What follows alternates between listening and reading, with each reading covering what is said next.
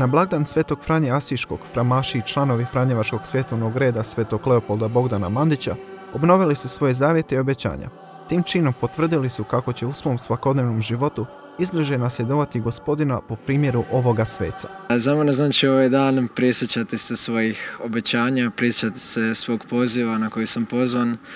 Dakle, to su poniznost, poslušnost, siromaštvo, pomaganje svojoj braći. Ivona je u Frami već šest godina. Zajedništvo, radost i ljubav povezuju je s ostalim članovima bratstva.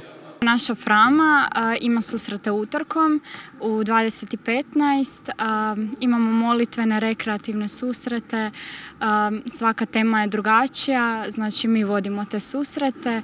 S nama je prisutan naš duhovni asistent, Fra Miljanko i obično svake godine ide se na hod Frame, odnosno hod Franjevačke mladeži, gdje budemo 12 dana na tom hodu. Hodamo po Hrvatskoj sedam dana, hodočastimo od jednog mjesta do drugog i onda četiri dana idemo u rodni grad Svetoga Franje u Asiz, gdje zapravo idemo s ciljem da zadobijemo potpuni oprost. Ljubav prema Bogu i svemu stvorenome je Franjevačka i duhovnost koju žive i članovi Franjevačkog svjetovnog reda.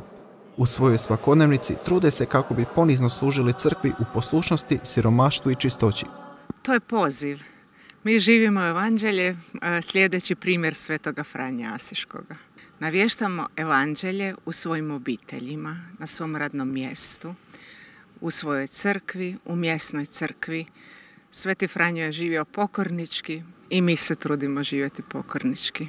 Prepustiti se vodstvu Duha Svetoga, svakodnevno obraćenje, promijeniti ono što osjetimo u duhu da ne valja.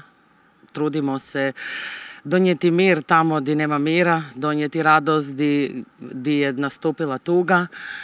A zapravo što mene fascinira kod Svetog Oca Franje je ta ljubav prema Kristu. On nije kopirao samoga gospodina Isusa Krista, nego je on dopustio da ga cijeli Krist obuhvati i da se toliko suobliči sa gospodinom zapravo kopija nema pravo biti slobodna, a on je bio totalno slobodan i prepustiti se Bogu da te mijenja, ja mislim da je to jedna najveća radost.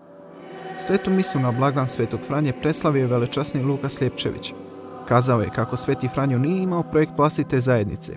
Podsjetio na njegove riječi kako mu je gospodin dao braću. Moj Sveti Franjo podsjeća me na ikonu koja se naziva Širšaja nebes.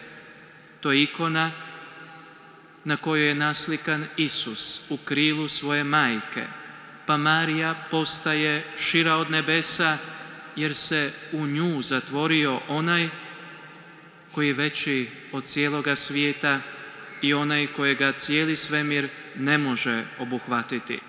Kao što je Isus ušao u okvire naše ljudskosti, tako je i Franjo, koji toliko nadilazi naše okvire, dopustio da njegov način života bude zatvoren u pravne okvire rimske kurije onoga vremena.